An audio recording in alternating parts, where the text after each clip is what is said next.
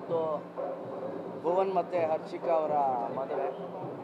ಇಬ್ರಿಗೂ ಶುಭಾಶಯಗಳು ಕಂಗ್ರ್ಯಾಚುಲೇಷನ್ಸ್ ಇಬ್ಬರು ನನಗೆ ಭಾಳ ಹತ್ತಿರವಾದವರು, ನಮ್ಮ ಮನೆಯವರಿಗೆ ಭಾಳ ಹತ್ತಿರವಾದ ಜೋಡಿ.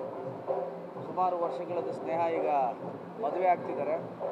ಸ್ನೇಹನೂ ಇರಲಿ, ಮದುವೆ ಆದಮೇಲೆ ಗಂಡ ಹೆಂಡತಿ ಥರನೂ ಇರಲಿ.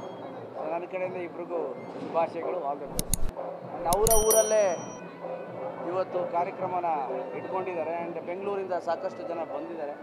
ಇದು ತೋರಿಸುತ್ತೆ, ಅವರು ನಮ್ಮ ಮೇಲೆ ಇಟ್ಟಿರೋ ಪ್ರೀತಿ, ನಾವು ಅವ್ರ ಮೇಲೆ ಇಟ್ಟಿರೋ ಪ್ರೀತಿ ಎಂಥದ್ದು ಅಂತ. ಇಬ್ರಿಗೂ ಒಳ್ಳೆಯದಾಗಲಿ ಥ್ಯಾಂಕ್ ಯು